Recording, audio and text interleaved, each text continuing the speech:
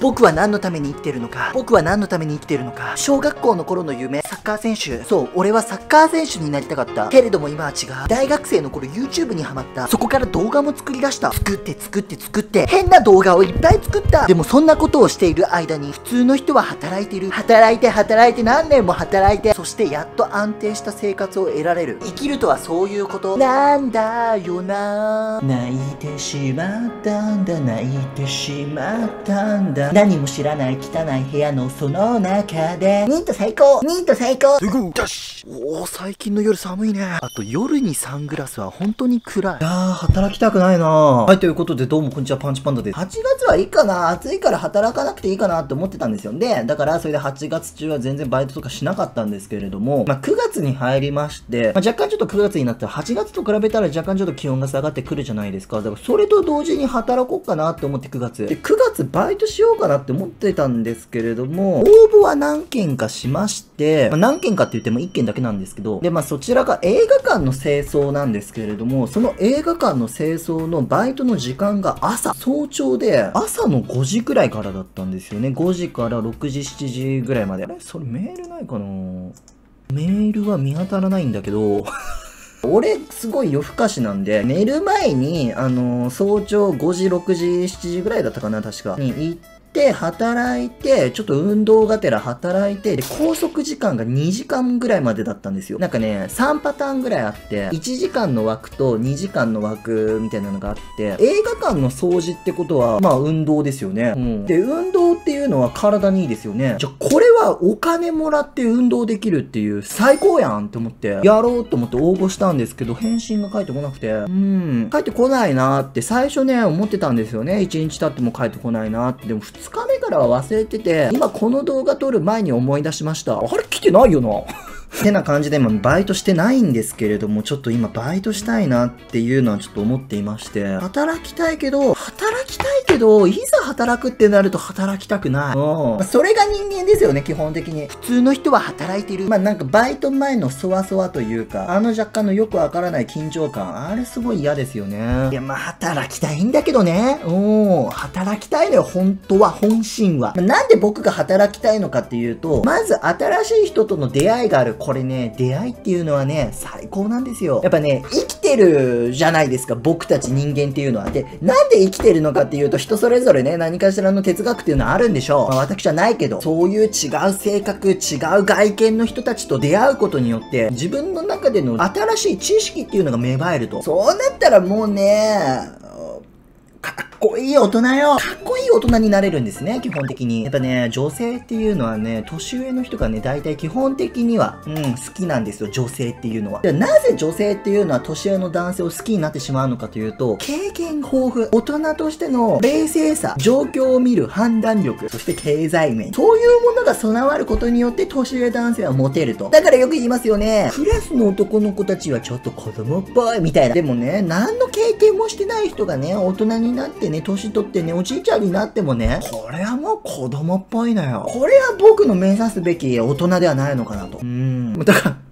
まあだからバイトしようかな、みたいな。それがまず僕がバイトしたい理由。そしてもう一個はね、やっぱお金が欲しい。金はね、お金からね、金がねえのはお金。うまいこと言って精神。まあだから手を出しかけましたよ。プレステ5。この時期プレステ5抽選で当たって転売したらいくら稼げるんだと。やっぱ男子とあるとも犯罪スレスレの行為。これはね、男の魅力を磨くんですよ。よく言いますよね。男磨き、女磨きみたいな。そういう時にね、女性っていうのはね、外見を磨くと。うん、要は美しい女性になると。じゃあ、はたまた男性といえば、男性は何を磨くのかっていうと、これがまたね、スリリングなことをすると。そういうのが男の子にとっては一番魅力的なのかなと。広角レンズ鼻つぶし。鼻の毛穴を広角レンズだ。これ見える全然見えないじゃん。見えてねえじゃん。電気代ってすごいかかるんですよ。この時期さ、あの、クーラーとかって消すタイミングじゃないですか。今外暑いから。今外涼しいから。で、だから窓を開けて、まあ外のね、あの外気の冷、外気の冷、外気の冷気を持ってくるわけですよね。うん。だからまあこの時期窓開けてるご家庭も少なくはないでしょう。でもね、俺んちはね、窓閉めたがるんですよね。窓閉めて、大きい声で喋ったりとか、スマホでなんかスピーカーでね、なんか YouTube 見たりとか。やっぱね、イヤホンよりスピーカーの方が、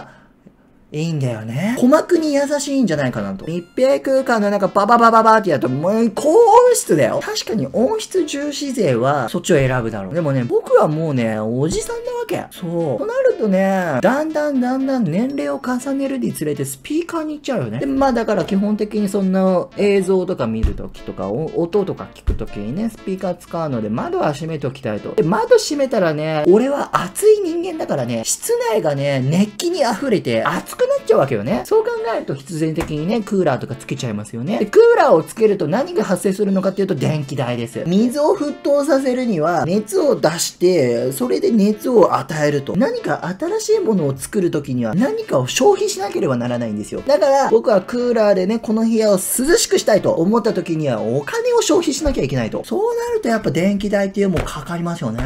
じゃあそれらを含めてお金が欲しいとか新しい出会いが欲しいとかそういう理由とそう、これがその理由。で、働きたくないなっていう、この気持ち。こうね、なるとね、ドゥンドゥンドゥンドゥンドゥンドゥンドゥンドゥン9月は僕はこっち、こっちだったんですよ。大体ね、8月の後半ぐらいまでこれだったんですよ。9月ぐらいにバイトしようって。この時にはね、応募してるから。8月の後半ぐらいに。あ、映画館の清掃をやるぞ。でもね、9月になったらいつの間にかこうだったんですよね。この時点ではもう嫌だ。でもだんだんだんだん、もう今これ、半分ぐらいズバ抜けちゃって。最近まあだからゴリラのね、動画をよく見るんですよ。俺はゴリラになりたいなって思う。ゴリラってすごいなんか人間にすごい似てて。小学校の頃の夢、サッカー選手。俺はゴリラになりたいな。なんかチンパンジーとかそうっすよね。スマホの操作とかもできるんですよ。今のチンパンジーって。なんかスマホでね、画像スクロールしたりとか。あ、この映像見たいなと思ったら、シュッてやるんですよ。で、それをね、ガラス越しからね、見られるだけであいつらはね、餌もらうんですよ。そこでうんこしたりとか、寝たりとか、食事をとったりとかできるわけですよ。なんかないかな、そういう動物園で人間化みたいな。柵の中でなんか、もういいよ、ここで生活して。わかったえ、何？好きなことしていいの？ああ、ええ俺たちが飼育するからっていう飼育員さん。そういう手厚なサポートも受けて、優雅に暮らした。やっぱちょっとプライベ